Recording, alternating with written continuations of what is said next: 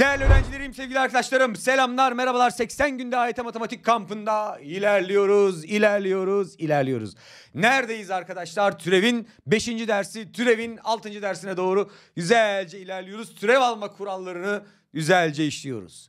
Haykıracak nefesin kalmazsa bile ellerim uzanır olduğun yere. Durmak yok enerji dolu bir şekilde devam edeceğiz.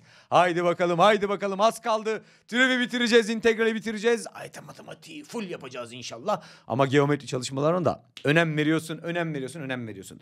Gel bakalım neredeyiz, neredeyiz bir bakalım. 80 günde ayet matematik kampımızın 58. günün üstüne de çarpımızı atalım mı? atalım. Hemen ödevlerimizi verelim mi? Verelim. Gel ödev. 5-6. videoyu izlediğinde Altın kitabın dördüncü testini göm çürüp geçiyorsun. Şimdi önemli bir yerdeyiz. Önemli bir yerdeyiz. Çarpım ve bölüm durumundaki fonksiyonların türevlerine geldik. Şimdi arkadaşlar senden bir şey istiyorum. Bana burayı oku bak. Şurayı oku bana. Ne yazıyor? fx çarpı gx. Ha. İşte okuduğunda çarpı kelimesi varsa iki fonksiyonun arasında okurken çarpı kelimesi varsa bu türevi kuralını kullanacaksın. Bunu oku. fx bölü gx. Bölü kelimesi varsa bu kuralı kullanacaksın. Mesela gel. 42. soruya bak. fx eşittir 3x kare çarpı dedim. İşte bu fonksiyon. O zaman çarpımın türevini uygulayacağım. 43'e bak oku. x kare eksi 3x çarpı 4 eksi 3x kare. İçeriye dağıtıp da uzun uzun dağıtıp da normal türev alma da yapabilirsin ama işte hızlı yapmak istiyorsak çarpımın türevini kullanacağız. Bak 44'ü oku. Ne istiyor? fx çarpı gx'in türevini istiyor. O zaman çarpımın türevini uygulayacağız. Bak gx eksi 1 çarpı x eksi 2 çarpı x eksi 3 çarpı x eksi 4. Arada ne kelimesi var? Çarpı. Çarpımın türevini uygulayacağız. Bak 46 oku. E, fx eşittir x kare artı 3 bölü x artı 1. O zaman bölümün türevini uygulayacağız. İşte soruları okurken çarpı kelimesi varsa çarpımın türevi kuralı, bölü kelimesi varsa bölümün türevi kuralını uygulayacağız. Tamam. Peki hocam bu kurallar nedir? Bu kurallar nedir? İyi öğren hep çıkacak karşımıza. Gel bakalım. Şimdi dedim ki karşıma şöyle bir şey geldi. fx çarpı gx dedi. Bunun bana çarpımının türevini istiyor. Tamam bak. Buna birinci fonksiyon diyorum. Buna ikinci fonksiyon. Birincinin türevi. Birinci ne? fx. fx'in türevini alacaksın. Araya çarpı koyup ikinciyi gx'i olduğu gibi yanına yazacaksın. Tamam mı? Araya artı koyacaksın. Şimdi ikincinin türevi yani gx'in türevi. g türev x çarpı sonra birinciyi yazacaksın fx. İşte çarpımın türevinin kuralı bu. Neymiş? Birincinin türevi, fx'in türevi çarpı ikinci. Araya her zaman artı koyuyorum. Sonra ikincinin türevini alıyorum. gx'in, gx'in türevi çarpı birinci. Bu kadar. Tamam mı? Bölümün türevini bölümün türevi geldiğinde yapalım. Şimdi 42. soruyu o zaman hızlıca çözelim. Gel bakalım fx bakıyorum çarpım durumunda tanımlanmış.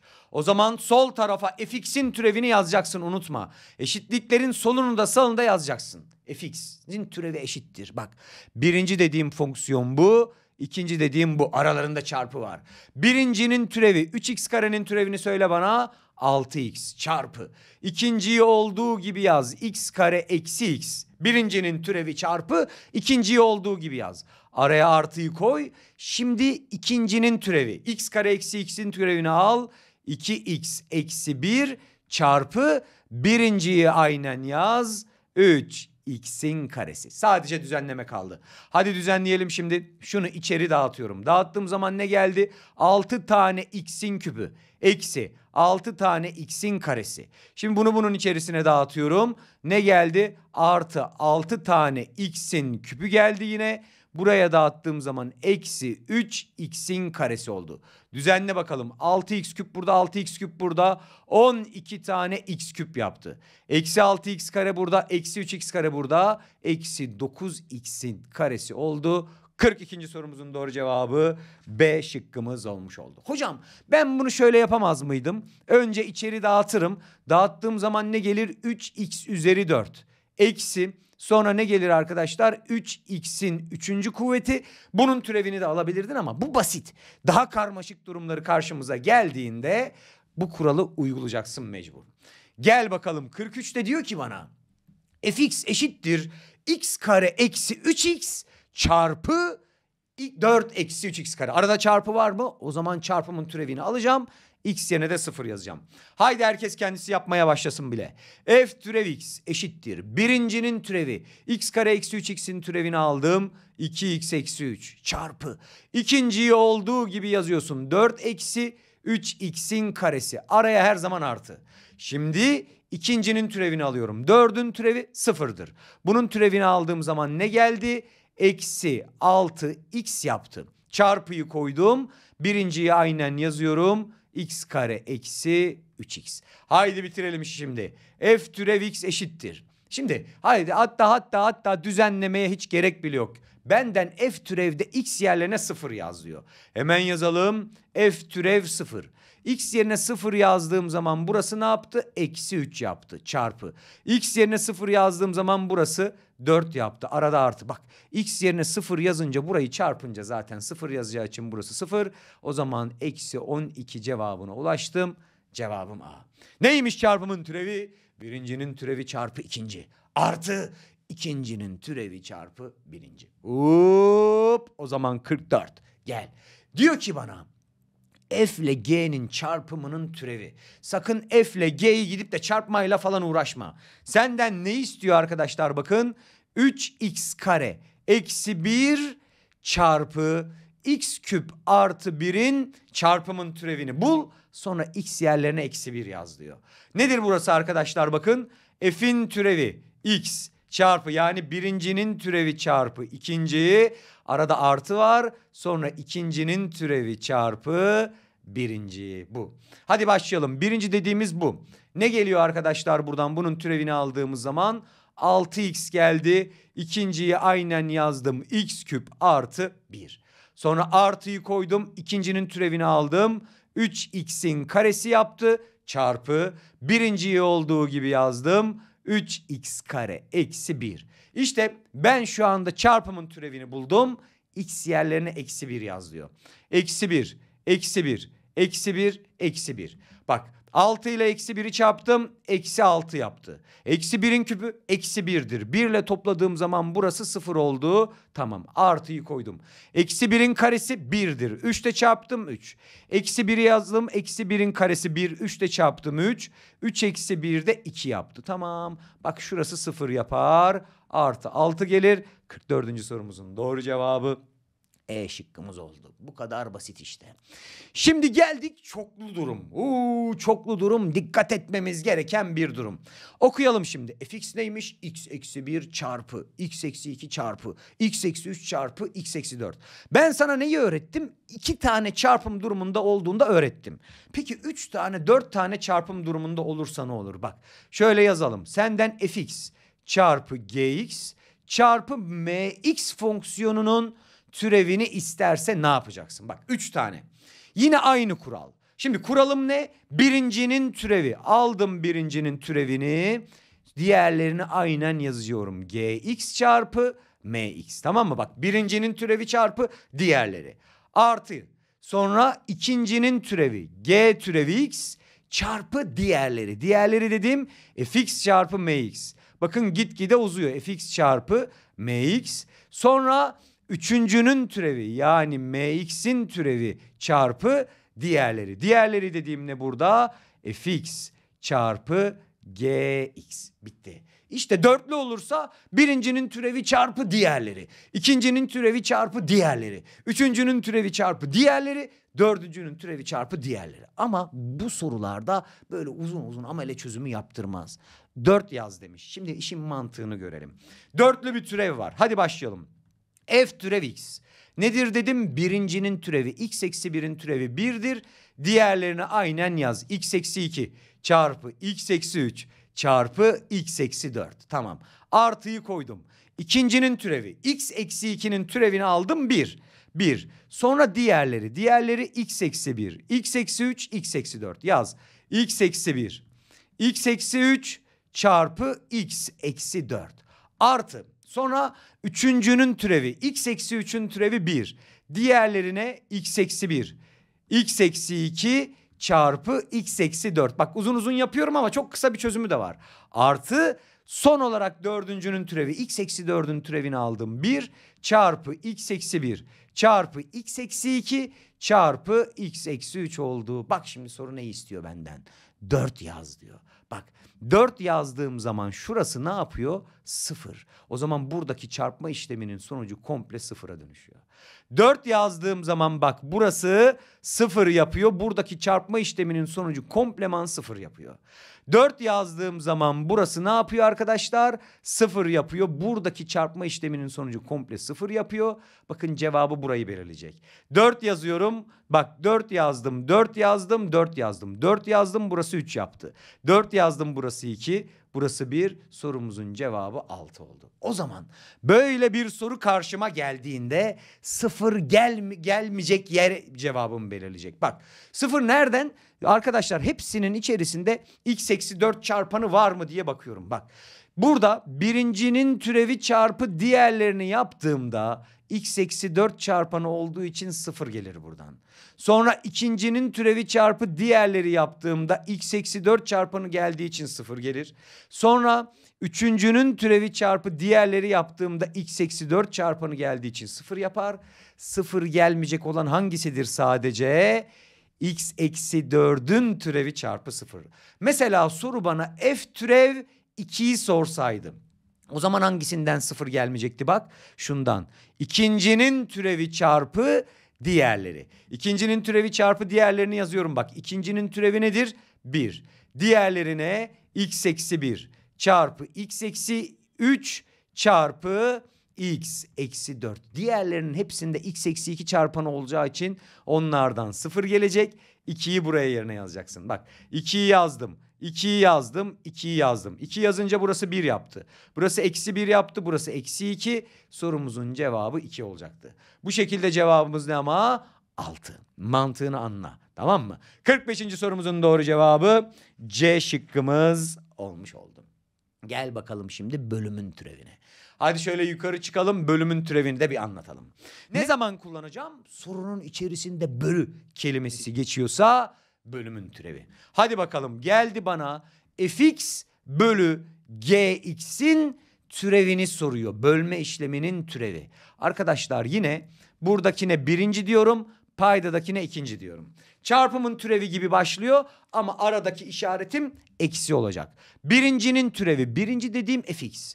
fx'in türevi f türev x. Tamam. Çarpıyı koyuyorum. Sonra ikincinin aynısını yazıyorum. Yani paydadaki gx'in aynısını. Aradaki işaret eksi şimdi. Sonra ikinci diyorum. Yani paydadakinin türevi. g türevi x çarpı bu sefer paydakini yani birinciyi aynen yazıyorum. Bölüyü çekiyorum altına. Paydadaki gx'in burada türev falan yok. Karesini alıyorum. Neymiş arkadaşlar bölümün türevinde? Yukarıdaki paydaki ifadeye birinci diyorum fx'e. İkinci gx. Birincinin türevi çarpı ikinci. gx'i aynen yaz. Araya eksi koyuyorum. Sonra ikinci dediğim paydadakinin türevini alıyorum. Sonra yanına fx'i çarpı olarak koyuyorum. Aşağıda gx'in yani paydadakinin karesi. Hadi benimle beraber tekrar et. Bölümün türevi fx bölü gx'in türevi karşına çıkarsa birinci yukarıdaki ikinci aşağıdaki. Birincinin türevi çarpı ikinci eksi sonra ikincinin türevi çarpı birinci bölü paydadaki yani ikincinin karesi. Haydi gel o zaman bölüm durumunda fonksiyonlar karşımıza çıktığında türevleri nasıl alıyoruz? Oku bakalım. fx eşittir x kare artı 3 Bölü var arada. X artı 1. Bölü varsa bölümün türevi. Hemen başlayalım. F türev x'i soruyor. Bakın birinci dediğim yukarıdaki. ikinci dediğim aşağıdaki. Birincinin türevi x, 2, x kare artı 3'ün türevi nedir? 2x çarpı. Paydadakini yanına aynen yaz x kare artı 1, x artı 1. Aradaki işaretim bölümün türevinde eksi. Sonra ikincinin türevi x artı 1'in türevi 1 çarpı birinciyi aynen yaz yerine sonra bölüyü çek aşağıdaki paydadakinin karesi. x artı 1'in karesi. İfadeyi sadece düzenliyorum şimdi. İçeri dağıtalım. İçeri dağıttığım zaman ne geldi? 2x kare artı 2x. Bakın buradaki eksiği içeri dağıttım. Eksi x kare eksi 3 geldi. Bölü aşağıda x artı 1'in karesi var. Hadi biraz daha düzenleyelim. 2x karenin x karesi gitti. x kare. Artı 2x'im var. Eksi 3'üm var. Aşağıda da x artı 1'in karesi var. Hop A. 46. sorumuzun doğru cevabı A şıkkımız oldu efendim. Şurayı bir tık büyüteyim mi? Hatta bir tık daha büyüteyim. Şöyle güzelce güzelce görün. Var mı anlaşılmayan bir yer? Yok. Gel. Yine 47. soru. Oku bakalım soruyu. fx neye eşitmiş? 2x eksi 3 bölü x artı 5. O zaman bölümün türevini yapacağım. x gördüğüm yerlere eksi 6 yazacağım. Haydi türevi herkes kendisi alsın bakalım. F türev x dedim. Bölümün türevi. Birincinin türevi 2x eksi 3'ün türevi 2. Çarpı. ikinciyi aynen yaz. x artı 5. Aradaki işaret bölümün türevinde eksi. ikincinin türevi. x artı 5'in türevi 1. Çarpı birinciyi aynen yaz. 2x eksi 3. Bölüyü çektim. Paydadaki x artı 5'in karesi. Hiç düzenlemeye uğraşma. X yerlerine ne yaz diyor? Eksi 6. X yerine eksi 6'yı yazdım. Ne oldu bakın. Şimdi buradan şöyle yazayım tabii. F türev eksi 6 diye yazayım. Şimdi bakın buradan eksi 6 ile 5'i topladım eksi 1. 2 ile eksi 1'i çarptım. Burası eksi 2 yaptı. X yerine eksi 6'yı yazdım. Çarptım eksi 12. Eksi 3 var burada. Eksi 12 eksi 3 ne yaptı? Eksi 15. Bir eksi de önünde var. Artıya çevirdi. O zaman burası artı 15 oldu. Bölü. X yerlerine eksi 6 yazdım. Eksi 6 artı 5. Eksi 1. Eksi 1'in karesi 1 yaptı. Yukarısı 13. Aşağısı 1. Hup 13'e eşit oldu. 47. sorumuzun doğru cevabı D şıkkımız. Maşallah maşallah. Öğrendin değil mi? Çarpımın türevi, bölümün türevi. Gel bakalım 48. soru. Diyor ki f bölü g'nin türevini al, bir yaz. E bölümün türevi. Birincisi f, ikincisi g. Ne yapacağım o zaman? f'in türevi çarpı gx sonra araya eksiği koyuyorum. g'nin türevi çarpı fx'i yazacağım. Bölü aşağıda da gx'in karesini alacağım. Bitti bu kadar. Haydi başlayalım şimdi. fx'in türevi. fx'in türevi nedir arkadaşlar? 3x eksi 4'ün türevi 3. Çarpı gx'i olduğu gibi yazıyorum. x kare eksi 4. Araya eksiği koydum. Şimdi gx'in türevi. x kare eksi 4'ün türevi nedir? 2x. Çarpıyı koydum yanına. fx'i aynen yazıyorum. 3x eksi 4. Bölüyü çektim. Sonra aşağıda gx'in yani x kare eksi 4'ün neyini istiyor? Karesini. O zaman f bölü g'nin türevini buldum ben. x gördüğüm yerlere şimdi 1 yazıyorum. 1 yazıyorum, 1 yazıyorum, 1 yazıyorum, 1 yazıyorum. Şimdi buraya 1 yazdığım zaman 1'in karesi 1. Eksi 4 var yerine eksi 3 yaptı. Şunları çarptım. Burası eksi 9 oldu. Şimdi 1 yazdım. Burası 2 yaptı. Çarpı 1 yazınca 3 eksi 4'ten eksi 1 geldi. Çarpımları eksi 2 yaptı. Bir eksi de önlerinde var. Burası artı 2 yaptı.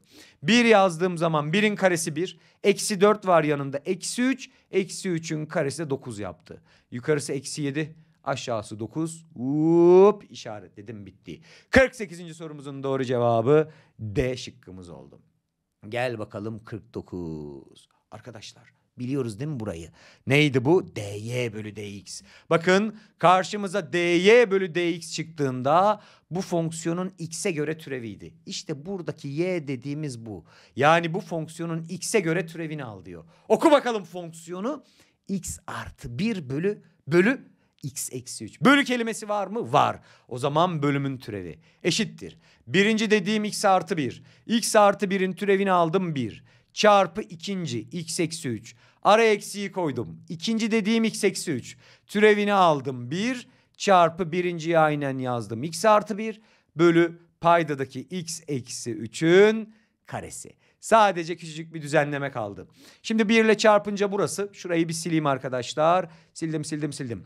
Burası ne yaptı yine? x eksi 3. Eksi 1'i içeri dağıttım. Eksi x eksi 1 yaptı. Bölü aşağıda da x eksi 3'ün karesi var. X'ler birbirlerini gömçürdü. Yukarıda eksi 4 aşağıda da x eksi 3'ün karesi var. Hop 49. sorumuzun doğru cevabı C şıkkımız olmuş oldu. Gel bakalım 50. soru. Şimdi arkadaşlar bu 50. soruyu bileşke fonksiyonlarının türevini anlattığımda bir yöntemle daha yapacağız. Tamam mı? Ama burayı mesela şöyle bir şey karşımıza geldiğinde 6 bölü x diye bir şey geldiğinde 6 çarpı x üzeri eksi 1 diye yazıp bunun türevini almıştık. Bunu başa düşürmüştük. Eksi 6 x üzeri üstünü biraz atmıştık buydu türevi. Ama aşağıda x kare eksi 3 yazıyorsa bunu bunun üstüne alarak yapamazsınız. He yapacağız ama bileşke fonksiyonun türevini bilerek yapacağız. O yüzden bu ifadeye de bölümün türevi uygulayabilirim. Ama ileride başka bir şekilde daha yapacağım. Oku bakalım burayı şimdi. fx ne eşitmiş? 6 bölü x kare eksi 3. Bölü kelimesi var mı? Var. O zaman bölümün türevini buna uygulayabilirim. Hadi başlayalım şimdi. F türev x dedim. Birinci dediğim burada ne? 6. 6'nın türevi nedir? 0. Çarpı ikinciyi aynen yazdım. x kare eksi 3. Araya eksiği koydum. İkincinin türevi. x kare eksi 3'ün türevi nedir? 2x çarpı birinci dediğim 6'yı aynen yazdım. Bölü aşağıdaki x kare eksi 3'ün neyi şimdi? Karesi. Düzenliyorum bakın sıfırla burayı çarpınca burası sıfır yapar. Bunları çarpınca eksi 12 tane x geldi. Bölü aşağıda x kare eksi 3'ün karesi var. Eksi 12x bölü x kare eksi 3'ün karesi 50. sorumuzun doğru cevabı C. Dediğim gibi ileride başka bir yöntemle daha anlatacağım burayı ama şimdilik bilmen gereken durum bu. Gel bakalım 51. Diyor ki fx fonksiyonu verdim diyor. Bunun fonksiyonun türevinde 3 yazınca sonuç 9 oluyor diyor. Buna göre a kaçtır? fx'i oku şimdi bana. Oku fx'i. Hadi sesli konuş benimle ya. fx ne eşit? ax artı 3 bölü x eksi 2. O zaman bölümün türevi var kardeşim. Hemen başlıyorum. Türevini aldım. F türev x. Bölümün türevini yapıyorum. Birincinin türevi ax artı 3'ün türevi a. Çarpı ikinci x eksi 2. Araya eksiği koydum. İkincinin türevi x eksi 2'nin türevi 1. Çarpı birinciyi aynen yazdım. ax artı 3 bölü aşağıda x eksi 2'nin neyi var? Karesi var. Şimdi burada x yerlerine 3 yaz. Sonucu 9'a eşitle diyor. Haydi bakalım yazıyorum f türev 3. 3 yazıyorum x yerlerine bak. 3 yazdım. 3 yazdım. 3 yazdım. Şimdi bak burası 3 eksi 2 1 yaptı. 1 ile a'yı çarptım a. Şimdi buradan ne geldi bakın 3a artı 3 yaptı. Eksiyi içeri dağıtıyorum. Eksi 3a eksi 3 yaptı. Bölü 3 yazınca 3 eksi 2 1. 1'in karesi 1. İşte buranın sonucu 9'muş. Ne oldu bakın burası? Eksi 2a şuraya yazalım. Eksi 2a eksi 3 eşittir 9 oldu. Salladım karşıya. Eksi 2a eşittir 12 yaptı. Her iki tarafı eksi 2'ye eksi 2'ye böldüm. Şunlar birbirlerini götürdü. O zaman a dediğimiz eksi 6'ya eşit oldu. 51. sorumuzun doğru cevabı A şıkkımız. Hiç korkacak bir şey yok. Çarpımın bölümün türevi bu işte. Hadi gel. 52. Herkes kendisi yapabilir mi? Bence öğrendin yapabilirsin artık. fx'i vermiş bize güzel. gx'i de vermiş demiş ki ben f ile g'nin çarpımının türevini aldım. Sonra x yerlerine 1 yazdım. Sonuç eksi 1 oldu diyor. Hmm. Hadi uygulayalım. Nedir buranın türevi arkadaşlar?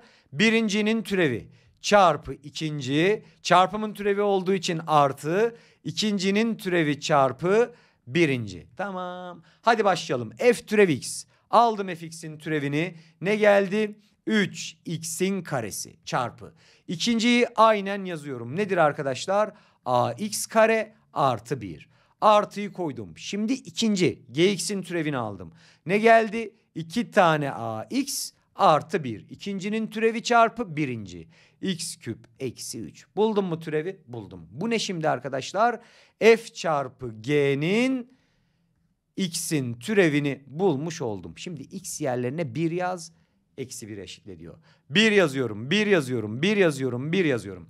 1 yazdım burası 3 yaptı. 1 yazınca burası a artı 1 yaptı. Artı 1 yazınca burası 2a artı 1 yaptı. Çarpı 1'in kübü nedir arkadaşlar? 1 Eksi 3 var buradan da eksi 2 geldi. İşte bu işlemin sonucu eksi 1'miş. Gerisi basit işlem. İçeri dağıtalım şimdi. İçeri dağıttığım zaman 3a artı 3 geldi. Şimdi eksi 2'yi içeri dağıtıyorum. Eksi 4a geldi. Eksi 2 var. Eşittir eksi 1. Şimdi burası eksi a yaptı.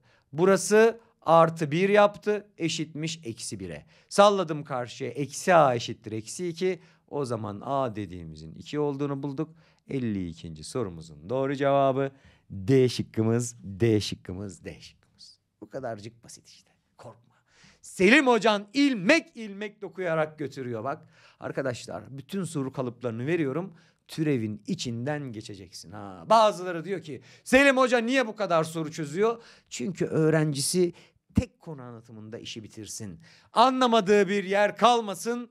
Güzelce her şeyi öğrensin. Emek veren kazanır. Gel bakalım. Şimdi güzel bir soru daha. İşte artık bir tık daha sınava yakın sorulara geldik. Dikkat. 53, 54, 55, 56, 57. Bu sorulara pür dikkat.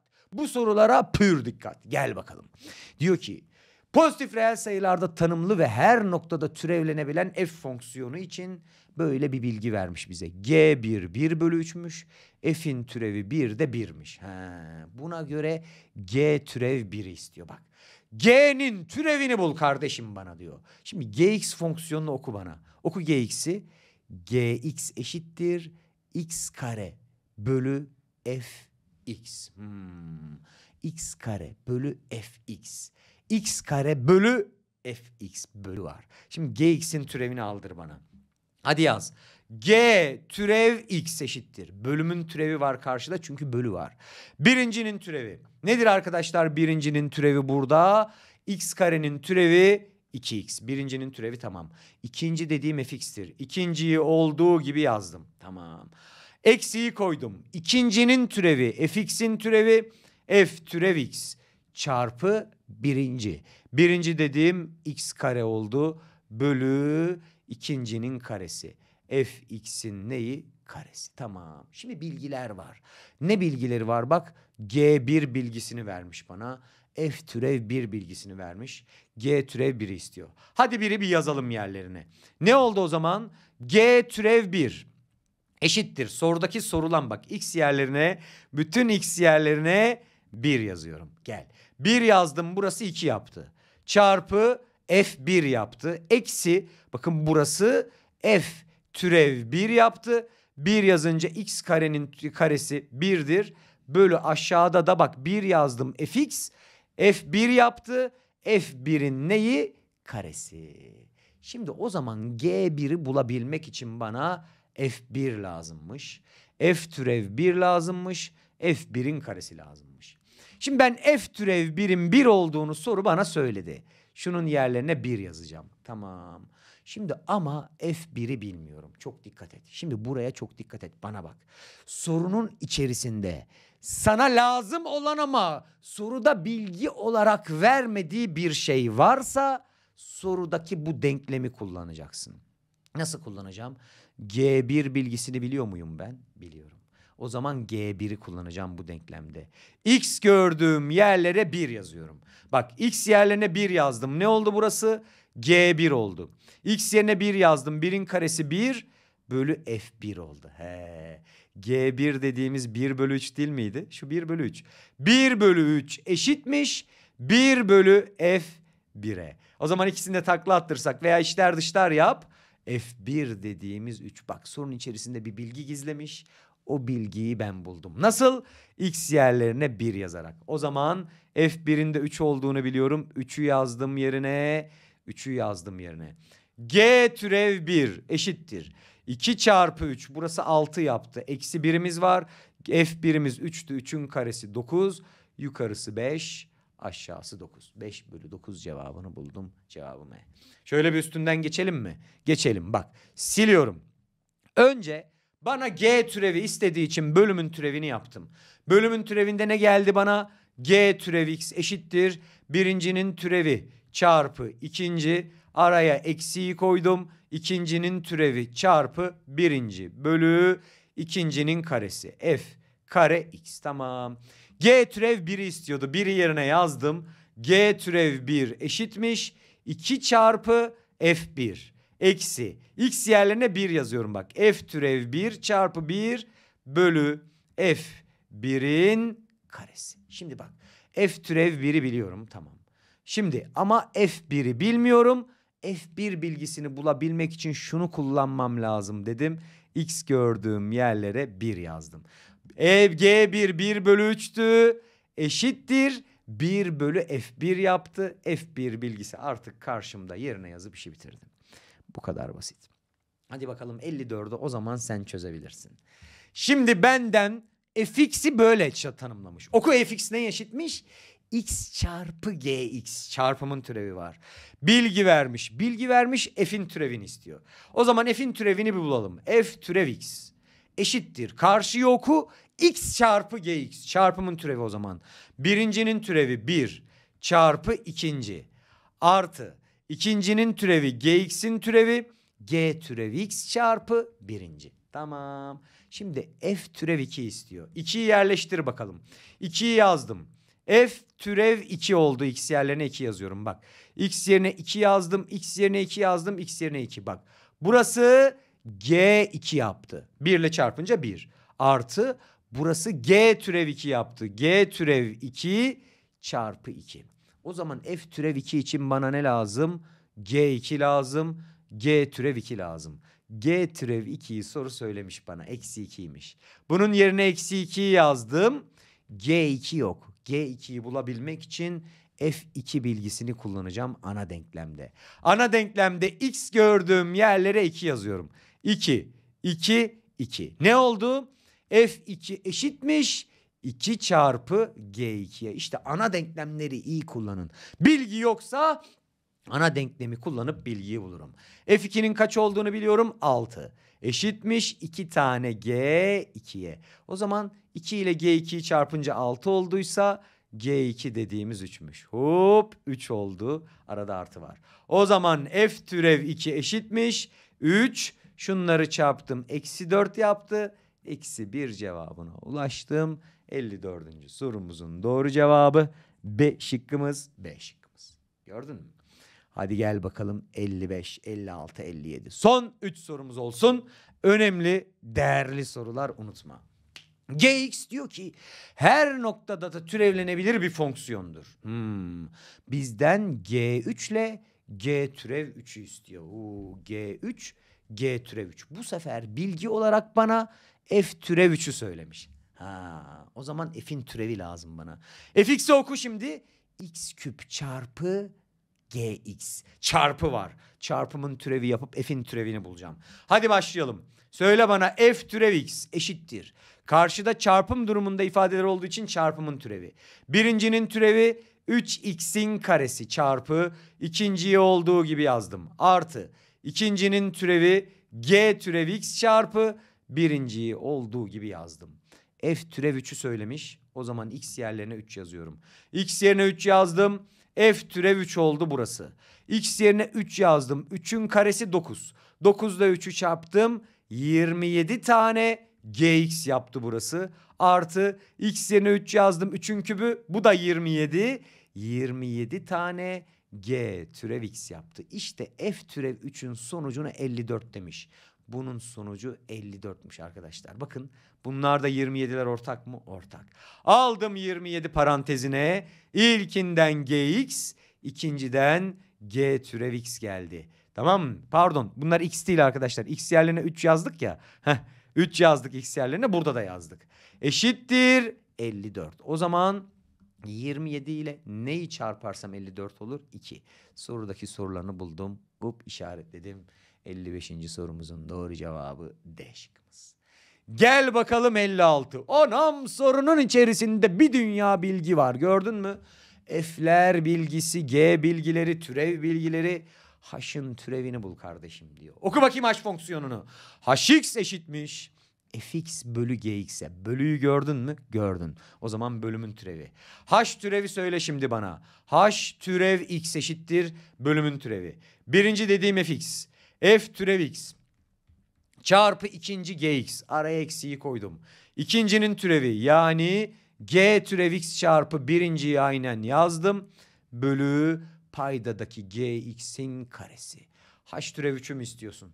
Gel o zaman x gördüğün yerlere 3 yaz işi bitir. Bu kadar basit. Ne lazımmış bana? F3 lazımmış. F3'ü söylemiş zaten 4 çarpı. Ne lazım? Pardon pardon pardon arkadaşlar orada f türev 3 var. F türev 3. F türev 3'ün kaç olduğunu söylemiş? Eksi 1 çarpı. Burası ne? G3. G3 kaçmış? Eksi 4'müş. Arada eksi işaretim var. G türev 3 lazımmış. E söylemiş 5. O zaman bu 5. Çarpı F3 lazım. F3'üm kaç? 4. Yukarısı tamam. Aşağıda da G3'ün karesi var. G3 eksi 4 eksi 4'ün karesi. Bitti. Şunlar artıya çevirdi. Burası 4 yaptı. Bunları çarptığım zaman 20 ama eksi 20. Böyle eksi 4'ün karesi 16 yaptı. Aşağısı e, yukarısı eksi 16. Aşağısı 16. Eksi 1. Hop 56. sorumuzun doğru cevabı C şıkkımız oldu. Gel bakalım son sorumuz, son sorumuz, son sorumuz. Önemli ve değerli bir sorudur. Nasıl bir soru? Değerli, senin gibi. Oku bakalım. Diyor ki bize, bize x çarpı f türev x eksi fx eşittir x küp eksi x kare olarak vermiş. gx fonksiyonunu şöyle tanımlamış bize. fx bölü x'tir demiş. Olduğuna göre fonksiyonuna üzerindeki x eşittir 4 apsisi noktasındaki çizilen teğetin eğimi. Hocam teğet eğim nereden çıktı? Arkadaşlar böyle de soracak. Ne demiştim sana unutma. Şimdi türev demek eğim demekti. Mesela bir fonksiyonuna bir yerde teğet çizdik. Nerede teğet çiz diyor? X'in 4 olduğu yerde çiz diyor.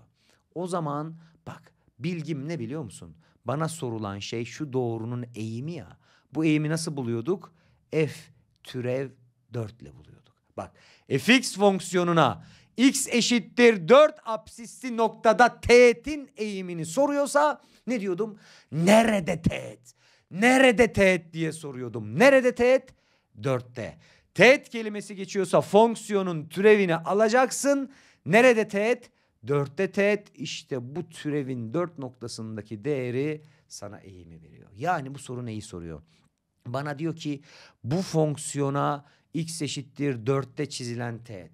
Hangi fonksiyona? Gx'te. Teğet diyorsa g türev 4'te teğet dediği için g türev 4 neye eşittir diye soruyor. Bak burası çok önemli. Mesela dedi ki sana mx fonksiyonuna x eşittir 12 noktasında çizilen teğetin eğimi dedi.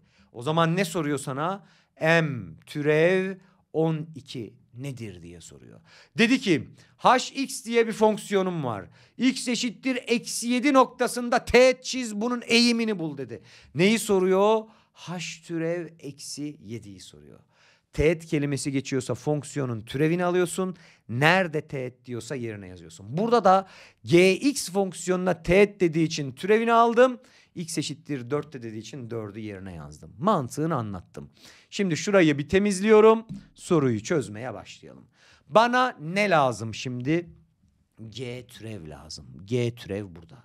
Bak G'nin türevini alacağım. Şimdi bir oku fonksiyonu fx bölü x. Ha, fx bölü x.